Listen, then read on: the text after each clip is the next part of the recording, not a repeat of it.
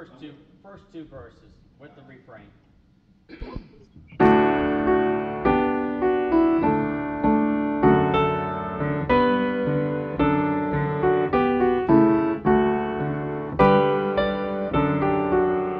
I'll be back.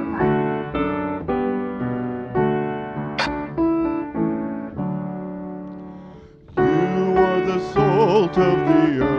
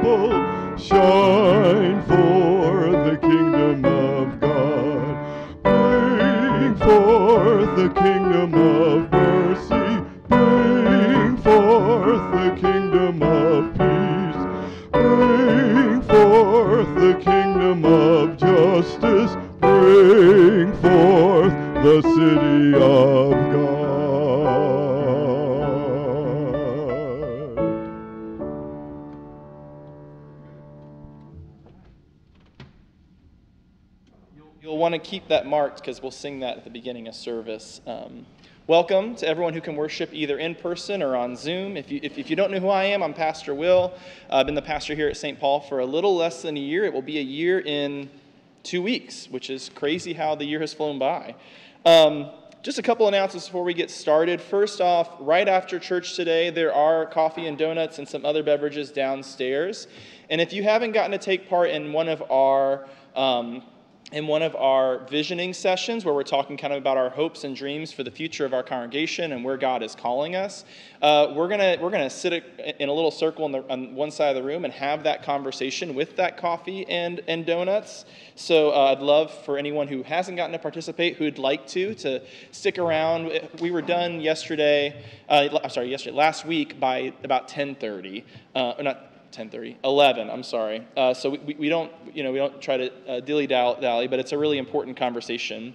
Uh, if you find that the meetings are hard to make, but you want to give your input about the vision and the future of St. Paul as we just dream about what God is leading us to do, there is an online survey. I'd much rather have a conversation, but if if if, if you'd like to fill out the online survey, it's available online. It's short and sweet. I, I took out a couple questions, uh, but I'd love just to hear what God has placed on your heart for St. Paul, for Laytonsville, Gaithersburg, for the world, uh, for yourself, so that we can dream about where God is leading this congregation.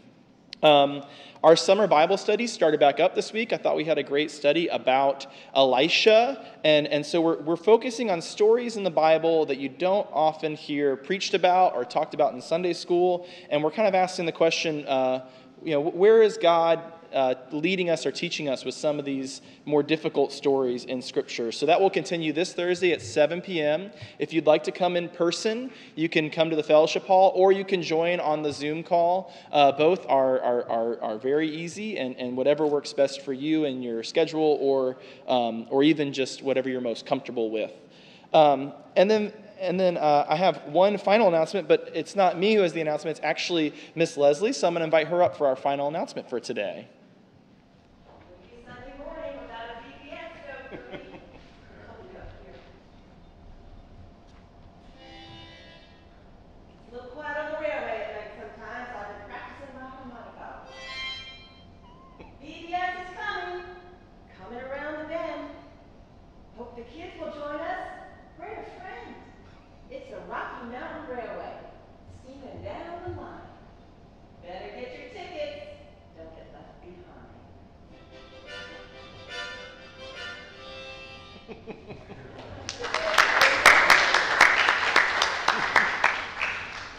Sign up for VBS is on the website. It's going to be a really fun week. There's going to be a lot of music and, and, and, and, and games and activities, and it's just going to be a great week. So feel free to invite a friend.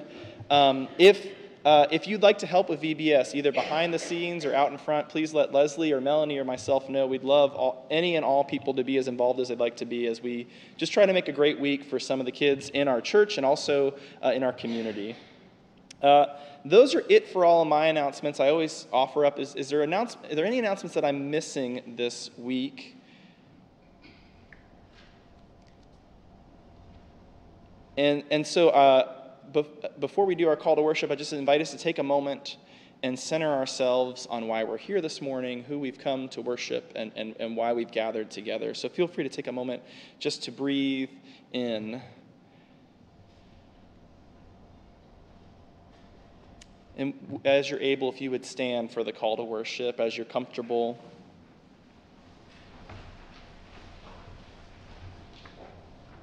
Gather in awe before God who laid the foundations of the earth. Open your hearts to the steadfast love God offers. The deeds of God are beyond our knowing, yet we catch glimpses of God's mercy and care. God does not forsake us when we are dismayed and afraid. Our Creator is with us in all times and places. God is a stronghold for the oppressed and troubled. The needy and the poor are not forgotten. God is ready to listen to us in these moments together. See, now is the acceptable time, the day of salvation. Surely God will meet us here in our faith community. How good it is when we sense our unity in Christ. Amen. So if you would remain standing or whatever posture is comfortable for worship, and Lou and Alan are going to lead us in some hymns of praise this morning.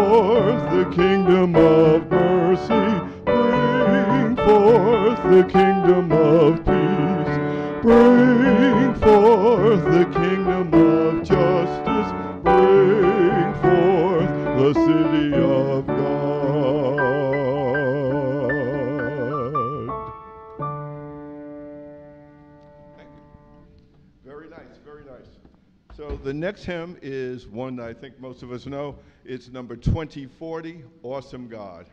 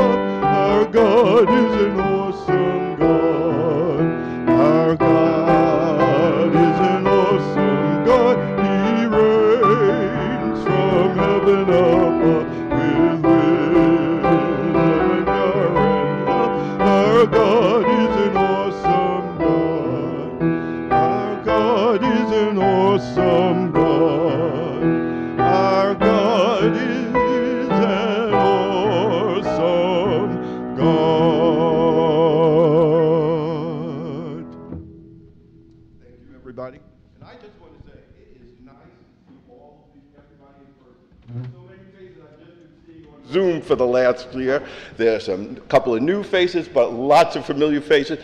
People Will probably hasn't seen, I think, ever. No, it's I'm thankful, and, and I it's funny to get to meet people without their masks on, and, and they're a completely different person than with the mask on. Always better looking without the mask on, but. Um, uh, so this is the time when usually our children would get ready to go down to Sunday school with Miss Leslie and Miss Melanie. But before you all leave, I believe we have a special thing we want to share with you both today. Uh, so I'm going to invite Sandy Walter uh, forward. I believe Melanie and Leslie forward as well.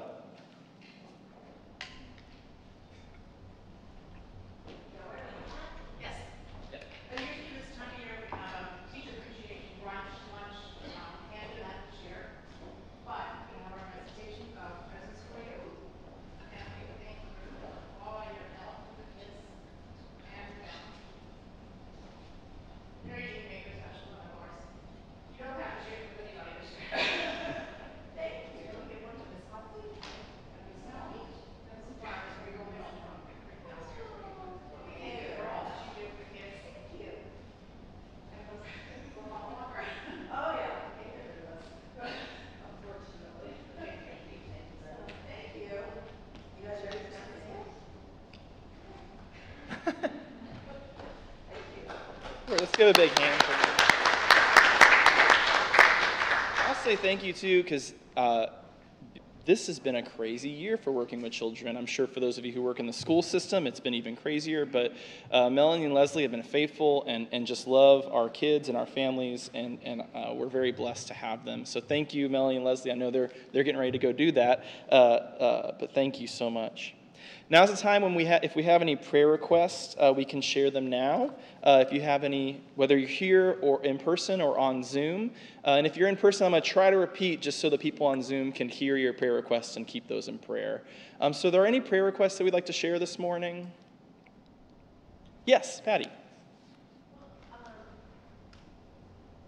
want, I have a joy that on June first, my, um, ninth grandchild was born, um, little girl, um, De- Delilah Marie. Lila. And, um, little brother's doing great with her, he's just, he's over the moon, that he has a little sister. That's great. I'm going to repeat that because that's really good news to share. I want to make sure people on Zoom heard it. Uh, uh, uh, Patty Ebner is celebrating the birth of her ninth grandchild, Delilah Marie, on June 1st, and, and just health and, and joy as that family continues to grow and, and, and, and, and expand in love for one another and for this new life. So, for blessings for Delilah and her whole family. Thank you, Patty, for sharing that. Other prayer requests? Pastor Will, Yes. it's Pat Rankin. Hi, Pat. I want to, I want to thank everyone. Oh, someone else talking. No, you're there. You're good. I want to thank everyone for uh, the prayers, the phone calls, and the cards for Jimmy and Chris. Um, both are doing really well. Chris had to have a colostomy, and he is physically and mentally good with this. So I think it has a lot to do with the prayers, and keep them coming for speedy recoveries for both guys. And thank you all very much. Of course, it's good to hear that they're that they're recovering well, and we'll, and we'll keep Chris and Jim both in our prayers as they continue to recover. Um, other prayer requests today. Sonny, Oh, Sonny, and then and then Chris. okay. Um, Jack started a new treatment on Friday. Prayers for that it will be successful. Appreciate any prayers that have been given. Thank you. Of course, yes. Continue prayers for Jack and the new treatment. Uh, Chris. Happy Father's Day. Yes. Yeah, and we want to pray and be thankful for our, our fathers, our father figures, and happy Father's Day to you if you are a father. Uh, and and uh, thank you, Chris, for reminding me and making sure that that got got, got placed in here. And uh, hope that today's also just a good day to either relax or enjoy some time with the family or whatever whatever is a meaningful Father's Day for you. Um, any other prayer requests? I'll share one that, uh, that has uh, been on my heart this week as, as yesterday was, was Juneteenth, and, Juneteenth, a celebration of, of emancipation and, and, and freedom um, um, from slavery for, for millions of people and, and, and what that means for, for the, for the African American community and other communities of color. Uh, and Alan this morning, that he flipped open his hymnal, and the first uh, hymn that came up was Lift Every Voice and Sing, which is uh, a a powerful hymn about, uh, uh, for, that, for that community. And I just think that uh, as we celebrate that, as that becomes a federal holiday, we also pray for continued freedom, for justice for all people in our country and in our world, and, and trying to find uh, where God is calling us into that work as well.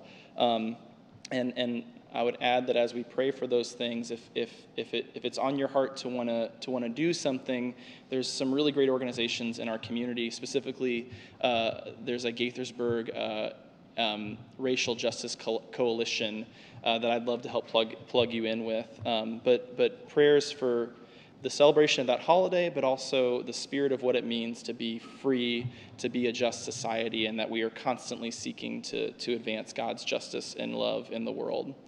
Um, so that's something that's on my heart to pray for today. Other prayer requests, joys, concerns? Uh, a couple names I want to keep in our hearts too. Uh, uh, Drew Stabler, who's a member of this community, as he um, struggles with some health issues. Uh, I'm not sure I can share much more, but prayers for him and his family in this time.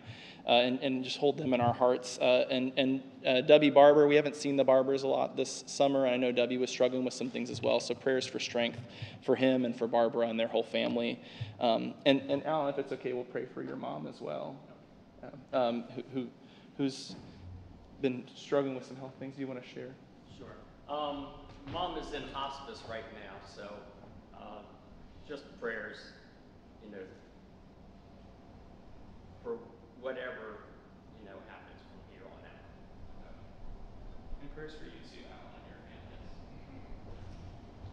family. Um, so we have a lot to pray for, both both difficult and joyful today, and um, and so, if there's no other prayer requests, not seeing any, not hearing any on Zoom, um, let's go to God in prayer together today. Would you join me in prayer?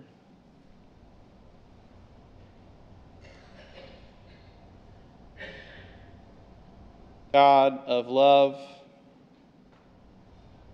of eternal life, of grace, of justice, we lift up the many names on our heart. As, as the world, or at least our corner of it, begins to, to, to come alive and, and, and, and, and move around, and as we begin to gather with one another again, we take moments just to pause and enjoy that we can be together. We pray for guidance for world leaders as they continue to find ways to move us past a pandemic, for those countries and places that are still in the midst of it, who that are still struggling that don't have access to the vaccine yet and, and, and maybe access to protective gear. We pray for provision. We pray for healing. We pray for guidance on how best to love our neighbor in all circumstances. We thank you for new life springing forth uh, for Delilah and her family, and we just pray for health and joy and just time uh, to grow in that love and the excitement of the hope for that child and, and who you have made her to be and who she will become by your grace and strength and by the love of her family. We thank you for good news for those who are healing, for Chris, for Jim, for Tom. We pray for strength in the midst of that, that you would be with them, that you would continue to strengthen them and give them patience and peace in this time of healing, and that by your Spirit you would be with them. We pray for those who are still struggling with sickness, for Jack as he begins new treatment, for continued strength and peace, for the Light Body family, for Drew, and for Debbie that you be with them and guide the doctors and nurses in treating them. Give them wisdom, Lord. God, we pray for Ruth that you be with her and her family, for Alan and all of them in this time. That you would strengthen them, comfort them, and be present with them. And we just lift her up to you, God, and that whole family. God, we pray for moments to be reminded of your grace and justice. We pray for yesterday's holiday, for upcoming holidays this summer, moments to pause and be reminded of what our world, our community should be about freedom, equality, respect and care for one another, unity across all divisions. But God, as we celebrate these things, show us where we are not quite there yet. Open our hearts and our eyes to the injustices that still exist, to those who still struggle for their freedom, for their worth to be recognized in this world. And God, as people of you, as your children, lead us to be bearers of a kingdom that sees the worth the grace, the beauty of all of your children. By the power of your Spirit, help us to transform this world, to always be growing closer to you. God, we pray today for fathers, for those who have a father they celebrate, or, or for those fathers who are celebrating being with their children today. We thank you for today. We pray that you be with them, strengthen them. We also pray for those um, for whom that relationship might be difficult, that you would comfort them today, for those who have lost their father early, for those who may have a strained relationship. But God, I pray for all those who are father figures, those who reflect the love of our Abba, Father God, those who reflect that love in the world. May we celebrate them today and in celebrating them, may we seek to be more like them, those good father figures who reflect your love. So bless these days that we get to celebrate and celebrate you.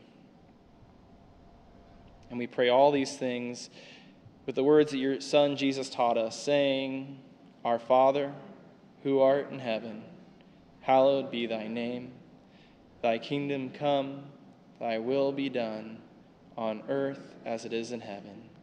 Give us this day our daily bread, and forgive us our trespasses as we forgive those who trespass against us. And lead us not into temptation, but deliver us from evil. For thine is the kingdom, and the power, and the glory forever. Amen. Invite Chris up for our scripture readings today.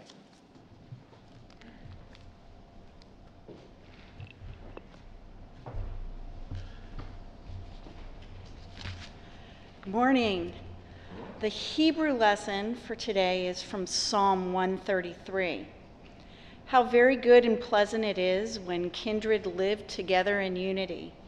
It is like the precious oil on the head running down the beard, on the beard of Aaron, running down over the collar of his robes. It is like the dew of Hermon, which falls on the mountains of Zion. For there the Lord ordained his blessing, life forevermore. The gospel lesson today is from Mark chapter 4, verses 35 to 41. On that day, when evening had come, he said to them, Let us go across to the other side. And leaving the crowd behind, they took him with him in the boat, just as he was. Other boats were with him. A great windstorm arose, and the waves beat onto the boat, so that the boat was already being swamped. But he was in the stern, asleep on a cushion. And they woke him up and said to him, Teacher, do you not care that we are perishing? He woke up, rebuked the wind, and said to the sea, Peace, be still. Then the wind ceased, and there was a dead calm. He said to them, Why are you afraid? Have you still no faith? And they were filled with great awe and said to one another, Who then is this that even the wind and the sea obey him? Here ends the gospel lesson.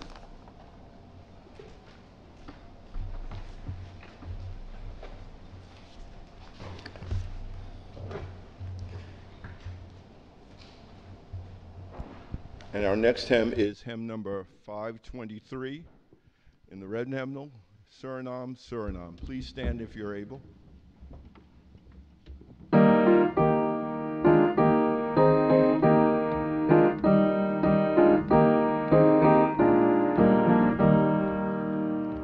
Jesus, Savior, Lord,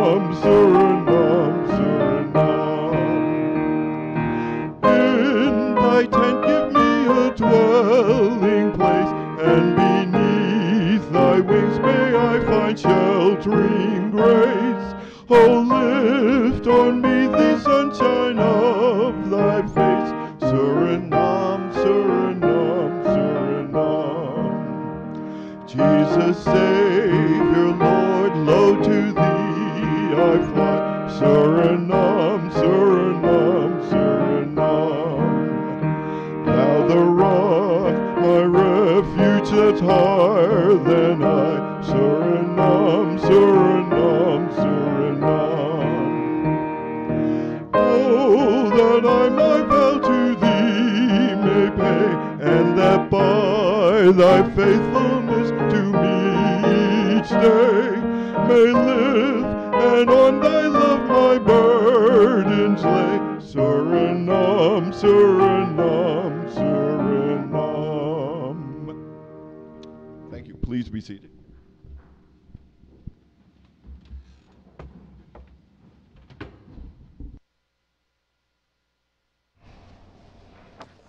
So, just a, an order of business before I read the scripture and we enter into this time. I know if you're on Zoom, the camera's been a little shaky, and, and we're not sure why, but I appreciate your grace as I know that uh, our camera crew, tech crew, is doing the best they can and are doing a, a good job, I would, I would say. Um, but uh, So we're, we're going to read for our, our sermon passage today from the David and Goliath story, but we're just going to read a small section. So I just want to offer kind of a preface uh, for, for what's happening here. At this point, David, as we talked about last week, has been anointed by Saul, uh, Samuel to be king of Israel, but Saul is still king of Israel, and Saul leads his armies into battle against the Philistines. And before we get to this, this section we're going to read, Goliath has stood out and has challenged the, the Israelite army, and he's done this not just once, but day after day, waiting for someone to meet his challenge. And at one point, David comes into the camp and sees what's going on, and, and, and we meet David talking to Saul at this point in 1 Samuel chapter 17, and we're going to read verses 32 through 40. I would encourage you to go back and read the whole thing. It's a, a beautiful story. There's a lot in there, obviously. One of, one of our favorites as, as uh, Christians and as, as followers of the word. So David said to Saul, Let no one's heart fail because of him. Your servant will go and will fight with this Philistine. And Saul said to David, You are not able to go against this Philistine to fight with him, for you are just a boy, and he has been a warrior from his youth. But David said to Saul, Your servant used to keep sheep for his father, and whenever a lion or a bear came and took a lamb from the flock, I went after it and struck it down, rescuing the lamb from its mouth and if it turned against me, I would catch it by the jaw and strike it down and kill it. Your servant has killed both lions and bears, and this uncircumcised Philistine shall be like one of them, since he, since he has defied the armies of the living God.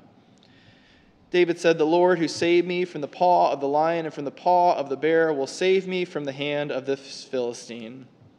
So Saul said to David, Go, and may the Lord be with you. Saul clothed David with his armor. He put a bronze helmet on his head and clothed him with a coat of mail. David strapped Saul's sword over the armor, and he tried in vain to walk, for he was not used to them. So then David said to Saul, I cannot walk with these, for I am not used to them. So David removed them. Then he took his staff in his hand and chose five smooth stones from the wadi and put them in his shepherd's bag in the pouch. His sling was in his hand, and he drew near to the Philistine. This is the word of God for the people of God, and we can say, Thanks be to God. Would you pray with me?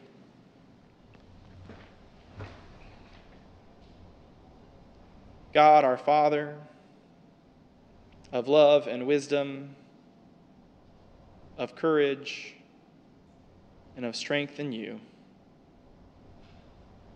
by the words of this scripture, by the inspiration of your Spirit speaking through them. Encourage us. Give us strength that this coming week and days and the months ahead, we could more faithfully share your light, be your children, accept the calling you have placed on our lives open our hearts to what it is you are saying to us today, and let the words of my mouth and the meditations of all of our hearts be glorifying unto you. In Jesus, the Word made flesh, we pray. Amen.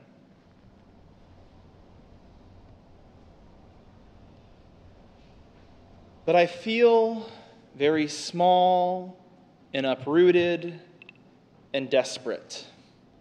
These aren't words from the story we just read, they're words from Frodo Baggins before he begins his journey to save Middle Earth in J.R.R. Tolkien's The Fellowship of the Rings. If you've been uh, in person or, or, or in uh, many of the services this year, you know that I often wax poetic about Tolkien's novels. They're, they're just brilliant from a writing standpoint because the heroes in the novels are not the strong and the powerful and the kingly, they are the common and the simple. People like me, maybe people like us. Who here can't sympathize with Frodo being small, uprooted, and desperate? And the other characters in the story are often underwhelmed by these, by these heroes that, that Gandalf has chosen, by Frodo, by Bilbo, by Samwise Gamgee, and they wish that someone else, more fitting, had been chosen to be the hero of the story. Throughout the book, the would be hero, Frodo, is asked to act less and less like himself and more and more like another sort of person. If only he was bigger, stronger, more seasoned in battle, more able up to the task. So, our Old Testament story describes a young boy, David, being asked to be something different than what he is. Now, follow me on this. Before he faces Goliath, Saul tempts David to be a king, to be the soldier, not just some young boy who got left out in the sheep field. Saul offers David a chance to cover up who he is with who Saul would like him to be a great warrior in shining armor. And what Saul probably doesn't know, we don't know if he knows, but it seems he doesn't know at this point that David has already been anointed to replace Saul as king of Israel. Saul knows this David who has played the lyre for him. He knows that David is young and insignificant. Being the youngest of eight, he's kind of the least important in his family. And he knows that David is just crazy enough to accept Goliath's challenge, a challenge that Goliath has issued time and again and again, day after day, towards Saul and his army. And all of Saul's soldiers cowered in fear. And even Saul, the king of Israel, the one who, is already ha- who has the, the battles, who has the victories under his belt with all his armor and power and authority, even Saul sits back, refusing to stand up to Goliath. Saul is who we might consider to be that conventional hero. He has the resume to be a hero, he has the experience. And David is the overlooked shepherd boy whose dad failed to invite him in for the important ceremony with Samuel. So it should bother us, though. We tend to read past this quickly. It should bother us how willing Saul is to send David, a young boy, into battle against a giant, a man who is seasoned in battle. I, mean, at first he says, You're just a boy, and he's been a warrior since his youth. You can't, you can't possibly defeat Goliath. And then Saul, so quickly after making that, that one little rebuke of David, Saul, so quickly after challenging David, is willing to say, Go and may the Lord be with you. I wonder if Saul feels in that moment that he's sending David to victory or just to defeat, if he's resigned himself. This is all I've got. Go and may the Lord be with you. Though Saul won't face Goliath himself, and he will send a boy to face Goliath, he offers David his armor. Now, I don't know whether this is practical. The description we get of David's armor is very similar to the description we get of Goliath. So there's kind of this Goliath's ready for battle, you have to be ready for battle. Or if this is honorary, Saul giving David the honor of wearing his armor. Or if it's that Saul wants the boy to stand in for him, and if people can just see that David is wearing Saul's armor, then it'll be as if Dave, uh, Saul fought Goliath. But we should pay attention specifically to this point in the story. Saul, I would argue in this moment, is trying to form David in his own image. This is what a king should look like. This is what a king should dress like. In order to be king, you've got to look the part, you've got to carry the armor. To be a hero, Saul invites David to change who he fundamentally is the shepherd boy who God has already anointed king. The irony is, while Saul is worried about looking the part, he's not worried about doing the job. But the message for us here isn't necessarily in what Saul does, but in David's response when he puts on the armor. We've often, we've often heard it said that David said the armor was too big, but that's not what the Bible says. What the Bible says is, I cannot walk in these, for I am not used to them. Maybe another way to say that is, these aren't right for me. This isn't who I am. This, this feels wrong. God also calls us into a life of faith to stand against giants. And the giants we face may be hunger, poverty, loneliness, addiction, racism, hatred, pain, and fear. There are certainly plenty of giants in our world. And while we respond to the call, we should resist the temptation from others to conform to their idea of who we should be rather than to be who it is that God has called and anointed for the task. Saul is trying to conform David into the king that Saul would, would want him to be, but God has called the shepherd boy, not the warrior king, to lead Israel against the giants. When the armor doesn't fit, we're being asked to pretend to be someone other than who God has called us to be. We are offered ill-fitting armor every day, the invitation to live into expectations that expectations that betray who God calls us. It seems to me that many people are forced into a mold, myself sometimes included, rather than cultivated from who God has made us to be, who God has called us. I wonder if in your professional life you feel pressured to put on the ill fitting armor, the traits and expectations that don't fit who you are, who God created you to be, the values and the gifts that God has instilled in you. I wonder if anyone here feels compelled to wear ill fitting armor to play the part to fill the role in their life. I know that there are thousands of megachurches led by high energy and charismatic pastors, and I am not like many of the successful pastors in our world. I come by that honestly. I tend to be a wallflower. I'm an extrovert, but I'm a very quiet extrovert. I'm not a ringleader. But I've had to come over the last few years to the conclusion that God was calling Will, the wallflower, not Will, the pretend ringleader, that I just can't fit into that armor, that it doesn't feel right. And churches can wear armor too, to play the right music, to conform to the right programming, to host the famous events. But what if we saw what we did in this community, in this holy family of St. Paul, as living into the calling that God has placed on us? Here and now in this place and time, not seeking to wear the armor of another church, but to dare to be who God has anointed in this place, to dare to be the community that God has formed here and now, to be holy who God is making us, rather than to wear the armor of some other church.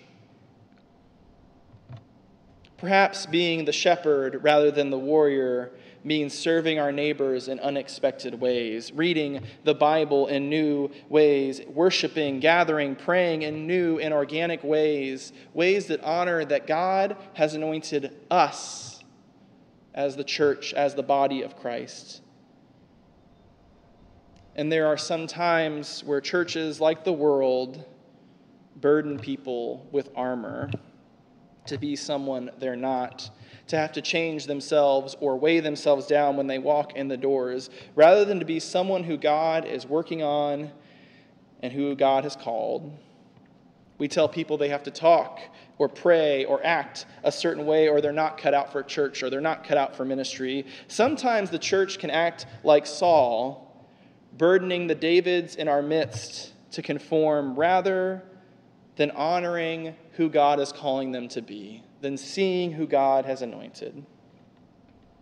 I have had beloved family members and close friends feel like the church is forcing them into ill fitting armor, friends who struggled with addiction but felt that they had to cover that up with some armor that denied their weakness, friends that struggled with mental health who were handed an armor of happiness to misshape their own struggles, not realizing that God calls and loves those who struggle, not those who have it altogether.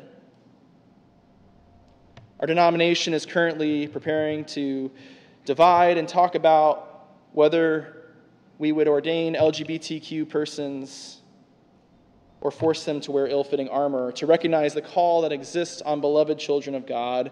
And I know we all may approach this topic differently that we may have different ways of reading that scripture, and I respect that. And, and if that's a conversation you'd like to have, I'd love to have that with you one on one to share mine and to hear your perspectives.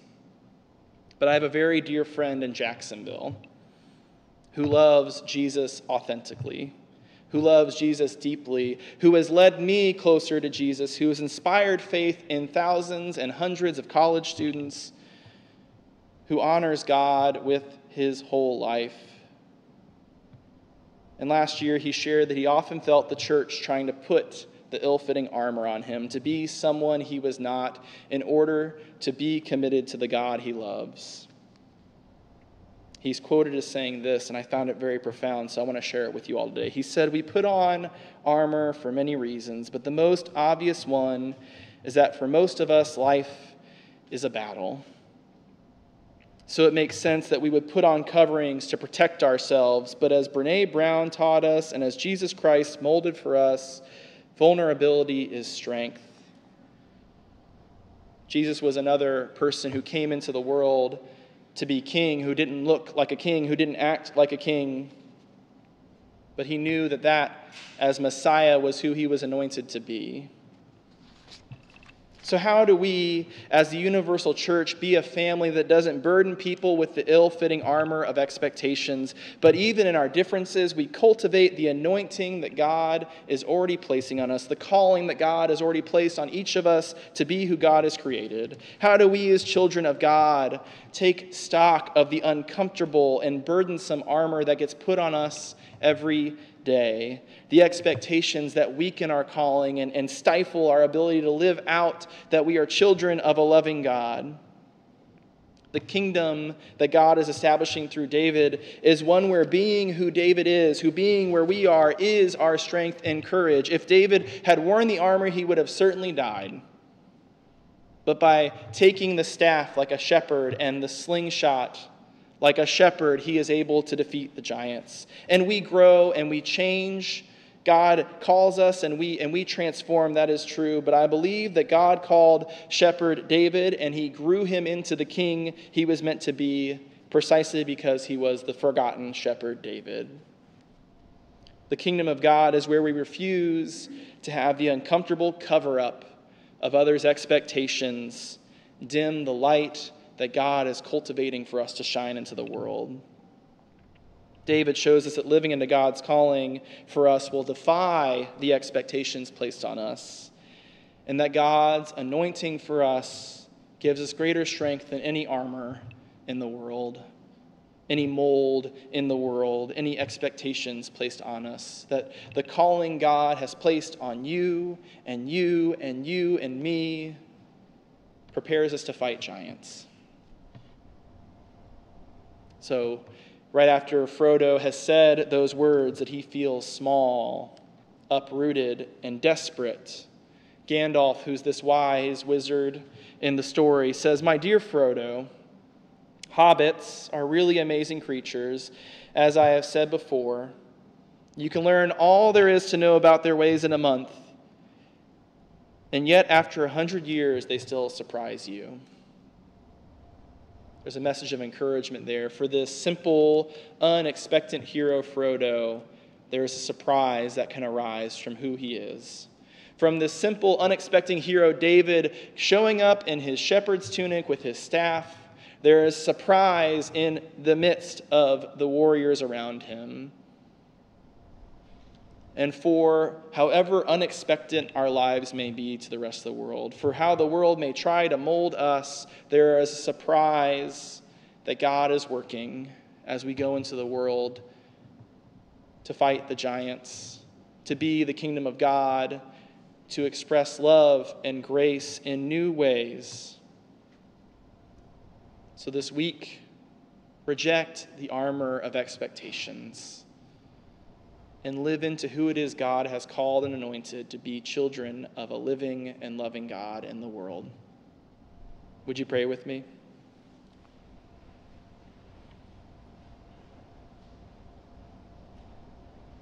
In this moment, God, show us who it is you've called today.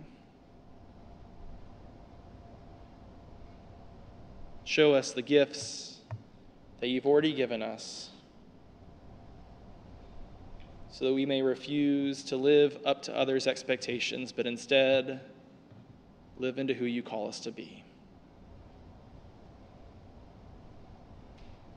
And God, by your Holy Spirit, open our eyes to how we call and encourage the calling on others. Stop us from putting the armor on someone else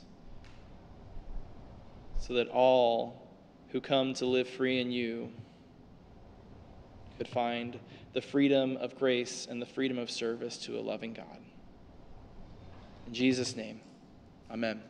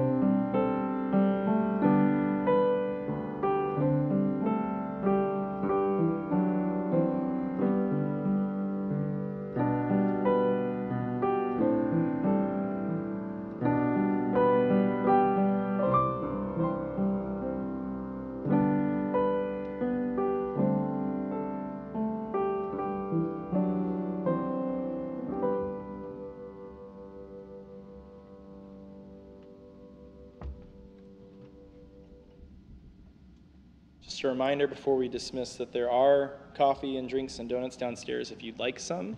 You don't have to stay for the visioning meeting to, to enjoy a little snack before you head out. Um, but if you would like to stay, we, I'd love to talk with you all. So receive this blessing. May the God who empowered David to stand up to Goliath strengthen you in who he has made you to be.